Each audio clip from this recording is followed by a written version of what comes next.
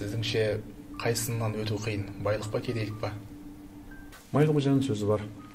Малдан да кедей бес күндік иманнан кедей жаманда дейді пайғамбар саллаллаху сахабалар сұрады адамның ең жақсылары кім? дегенде пайғамбар саллаллаху айтады құран кәрімде адамның ең жақсылары алла тағаланың алдында алладан көбірек қорқушылар деді.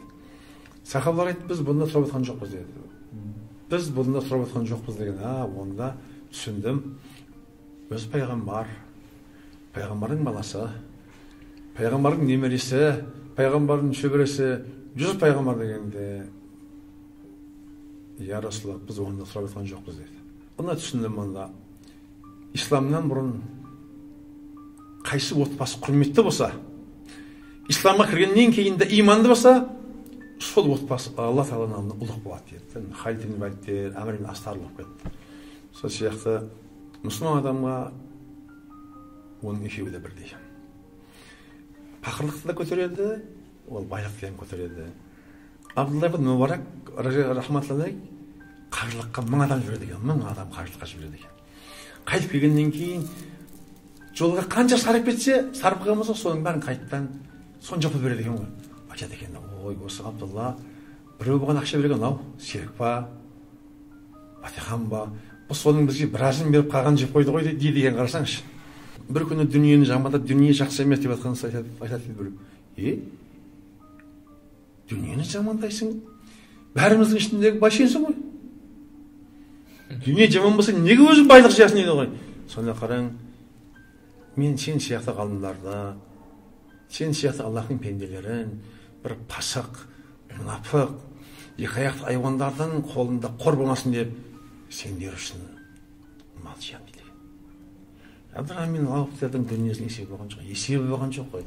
Ұсман зүннұрайын тәуба қазатында тоғыз жүз елу түйе елу ат мың алтын берді ғой. Ол бай болды ғой бәрі. Мұсылман адамға екі екісінде бірдей. Байлық келсе шүкір қылып алла жолына сарып қылады. Жоқшылық келсе сабыр қылады оған да оған соның үшін мен өзім сұраймын я раббым жоқшылық келгендегі сынағыңнан сақта барлық келгендегі сынағыңнан шықта пендеге жоқтық та сынақ барлық та сынақ бірақ пайғамбар саллаллаху байлықтан сақтануға үлкен бір хадисі бар. Мен үмметтерімнің айға күнге бұтқа табынады деп қорықпаймын.